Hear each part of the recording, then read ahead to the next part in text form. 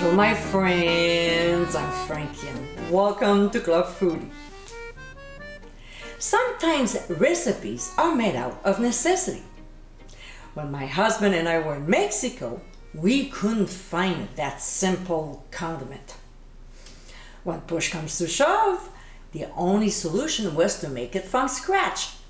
It was good, although it was missing some ingredients. So when we came back home, I decided to make more.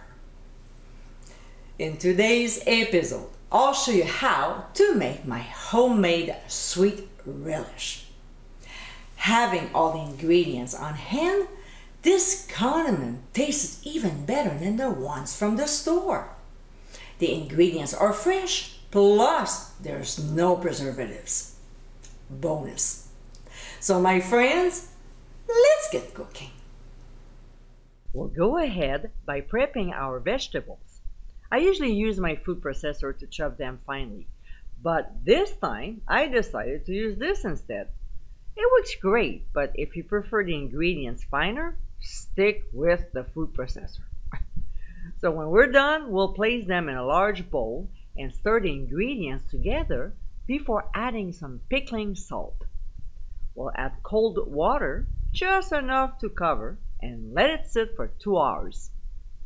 A couple hours later, we'll drain the vegetables into a colander lined with cheesecloth. We'll rinse them well under cold water and let them drain.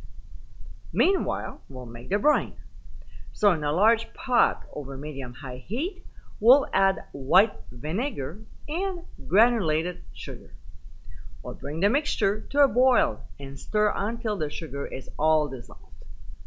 To this, we'll add celery seeds, then mustard seeds, and ground turmeric. We'll give a quick stir before dropping in our vegetables. We'll stir once again and bring the mixture to a boil.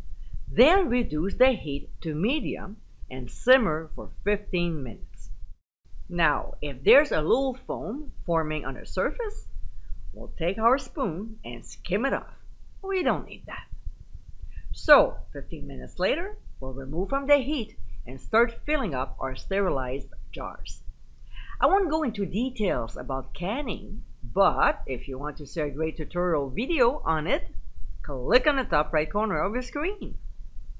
After wiping the rims, placing the sterilized lids, and applying the screw bands, we're ready to process our jars. We'll go ahead and carefully transfer the jars in a boiling water bath. When the water returns to a steady boil, we'll set our timer and process for 10 minutes.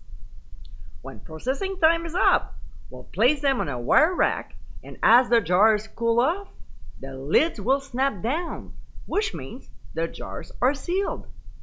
Now they're ready to be enjoyed. And my friends, this is how homemade sweet relish. This is a tasty and versatile condiment. Obviously, it can be used on hot dogs and hamburgers, but also in Thousand Island dressing, tartar sauce, picnic salads, deviled eggs, and so on. This recipe is a great way to use up your garden-grown cucumbers. I hope you give it a try soon and be sure to visit clubfoody.com for ingredient amounts and more info. Until next time, my friends, bon appétit!